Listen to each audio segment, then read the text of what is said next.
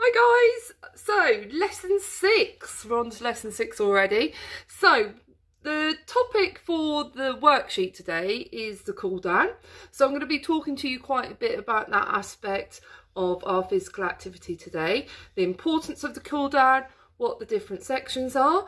Um, but first of all, what I want to do is go through the sections we go through each session. So we're going to be doing a warm up, we're going to do our normal fitness section. Skills today is based on striking. So this is going to be an interesting one to do inside.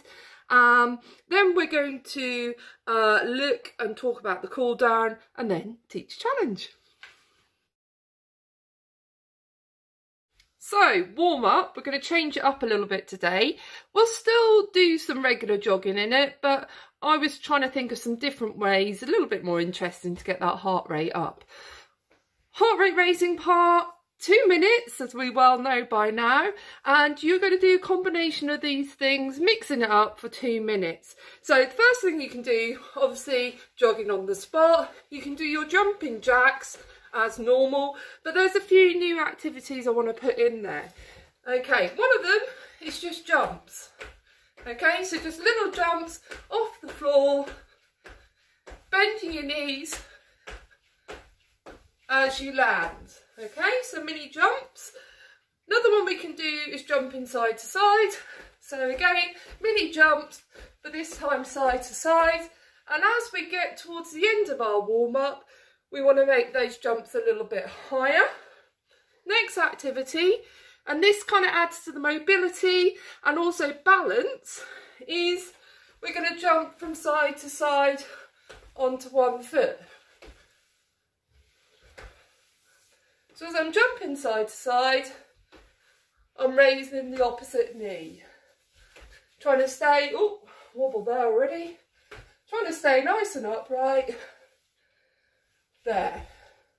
And obviously I can make that a bit quicker as I go along. After I've done that, normal stretching, add a few of those mobilisation activities we did in the last lesson as well. The next section, so this is our workout bit, this the bit where we're improving our fitness, and I want you guys to work really hard. What you need today is a timer, and also you want a piece of paper and a pen, because I think you're going to want to write down the exercises so you can refer to them quickly. So, you're going to set your timer for two and a half minutes. Every 30 seconds, you need to practice, um, sorry, you need to change your activity. So, you will do, first of all, mountain climbers for 30 seconds. So, quick demo of that. Here. When the timer gets to 30 seconds, you then switch it for a low plank. so this is our low plank position. Feet comfortably apart, down on your elbows. Nice flat back. You shouldn't be dipping or you shouldn't have your bum in the air. Nice flat position. So that's your low plank for 30 seconds. Got a little boy in the way of my clipboard. Next one, frog jumps. So, starting low here, we're jumping up to an upright position and then we go down again. Up and down. We're coming towards here and then we're just going to turn round and go back. Up, up, up, turn round and go back. So that one for 30 seconds. Next one, elbow to knee for 30 seconds. So this one here, and we want to be jumping it. Keeping my back upright, 30 seconds of that one. And then the final one is 30 seconds of jabs. So to be on our toes, with jabbing straight ahead of us. Okay? 30 seconds of those. Once you've done the, the whole routine, so once the two and a half minutes is up, you're going to stop, you have a break, you're going to do it again. See how many times you can do that through. Good luck. Skills section. So I've got Toby's going to help me out with this bit. We have got a cricket bat, just because he got one when he did this cricket scheme. We've got a tennis ball, um, and we've also got a ruler. So whatever you can get your hands on. If you've got a plank of wood that you could use, great. If you've got um, a cricket bat, absolutely awesome, but it, you don't have to. Okay, you can use whatever you, you've got. What we're going to do first of all is we're going to focus on striking but out of the hand. So when we're talking about striking activities, we're talking about things like cricket, rounders, where you are trying to strike the ball, so hit the ball, so it goes away from the opposition, and while that ball's away, you're trying to score as many runs as you can. Striking is a specific thing of hitting that ball. All right, so that's the skill we're working on today. So we're just going to build it up how we would. You come up with your own activities. Uh, there is space on the worksheet today for you to give me your ideas. So Toby's going to just stand away from me here. All right, and the first activity he's going to do is he's going to hit the ball out of his hand. So he is hitting, just wait a moment, he is hitting towards the sofa. All right, so he's not hitting towards mummy's fine china or anything. He's just hitting towards the sofa. So quite simply, for the first one, he's just hitting the ball out of his hands. And he's going to practice that a few times. Brilliant. Okay, so that's quite easy for him. So next thing he's going to do is he's going to drop on the ball on the floor and then he's going to strike it. okay. Try not to hit the phone. Lovely. Okay, so again, that's quite simple for him. So now I'm going to feed the ball because this makes it more difficult.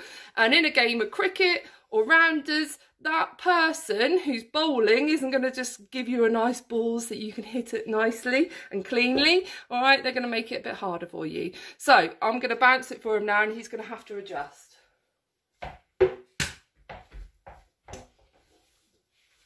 Just nice and gently because we are inside.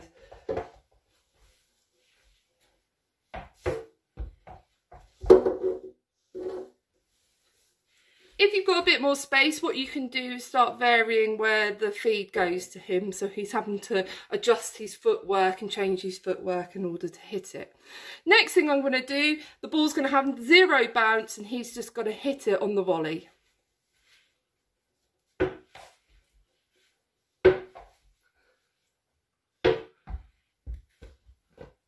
Okay, let's make it trickier again.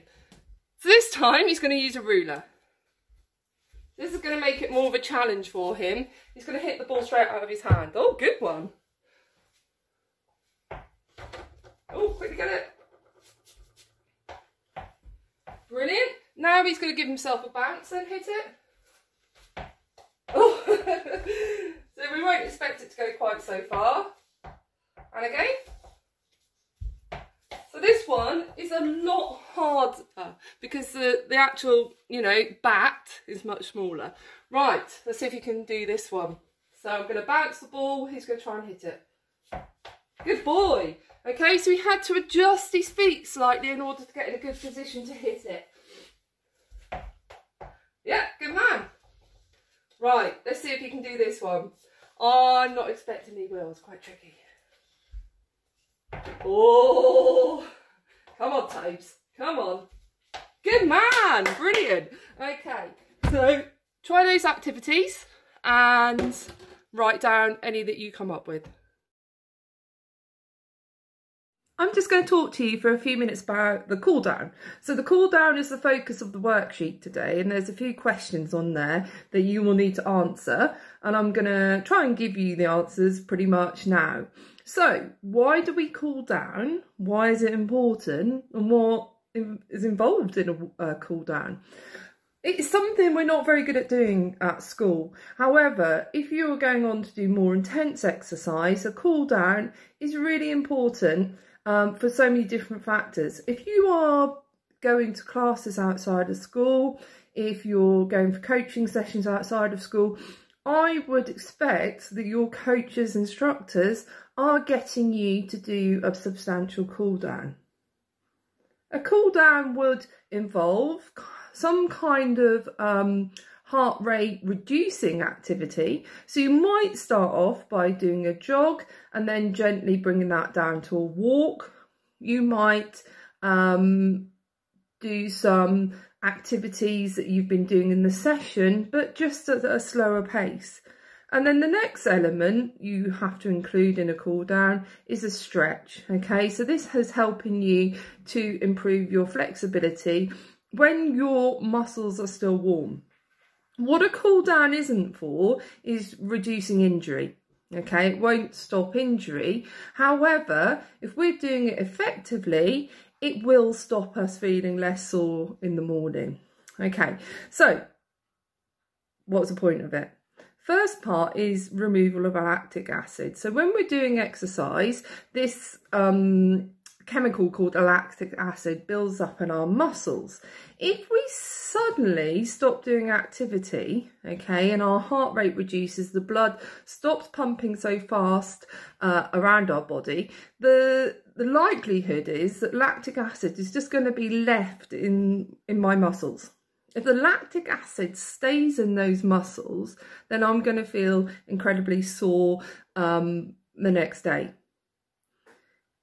In order to get that lactic acid, keeping moving and getting it out of my muscles as much as possible, I need to continue to do some low intensity exercise, which then will clear that lactic acid out.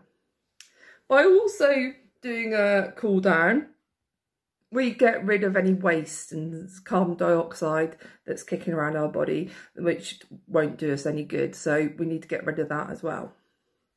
We bring our heart rate and breathing slowly back to normal.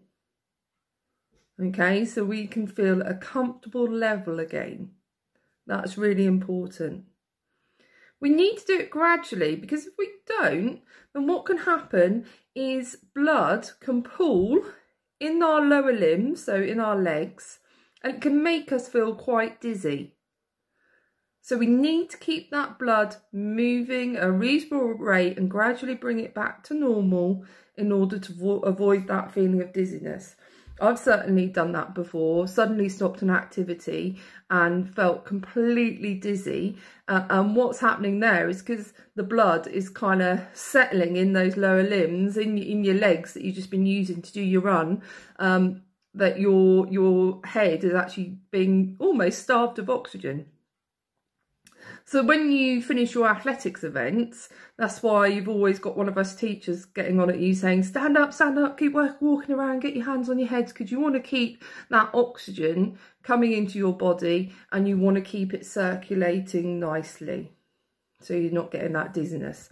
Uh, last thing, and I've mentioned it already, is improving your flexibility this is a perfect time to stretch because your your muscles being nice and pliable okay? Um if you think of it then being really warm and easy to stretch. Right there you go. That's cool down complete the worksheet and have a go at whose challenge is it today? I've forgotten. Miss washington's challenge. So have a go at that. See you later. Hi guys. Hope you're all okay I've got another PE challenge for you today. So we're going to see how many walking planks we can do in 45 seconds. So you're going to start in the plank position and then you're going to step up to press up position and then back down and that counts as one. Okay, right, let's go. 45 seconds. One, two, three, four, five, six, seven, eight, nine, ten, eleven, twelve, thirteen, fourteen, fifteen, sixteen, seventeen, eighteen. 19, 20, 21, 22. There we go. So have a go.